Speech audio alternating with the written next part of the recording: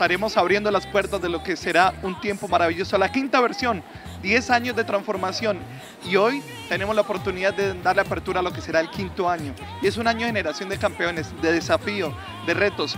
Un, un tiempo, sobre todo, para darle instrucciones a los jóvenes de cómo ir a otro nivel, de cómo ser 10 veces mejor.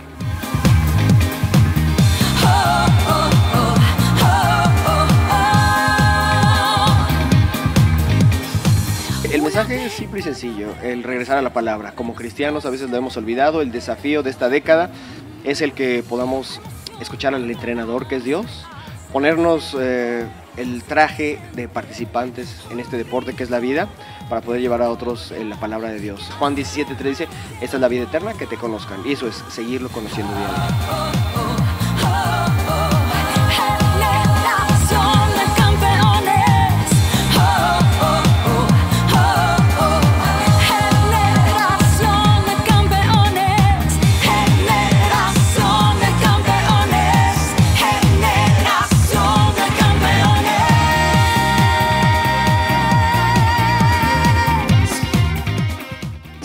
Colombia es un buen lugar para llegar.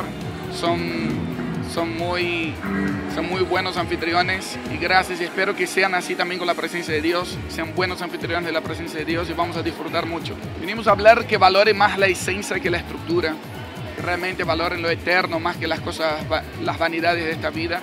Y que espero que podamos tener experiencias profundas con Dios estos próximos días. Por eso yo salto, grito, creo,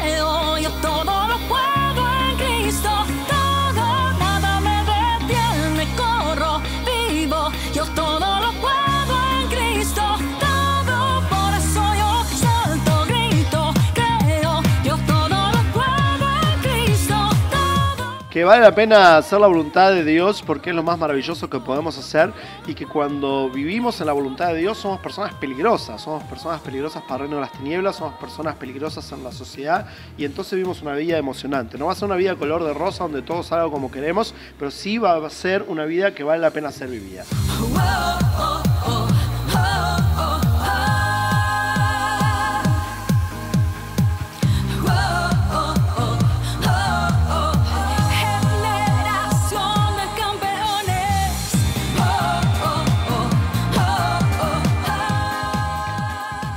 Definitivamente creo que Dios nos está llamando a despertarnos del sueño y a entender que Él va a hacer con nosotros una obra eh, increíblemente poderosa, pero necesitamos nosotros estar conscientes de lo que Él está hablando y de, y de lo que Él nos está mostrando.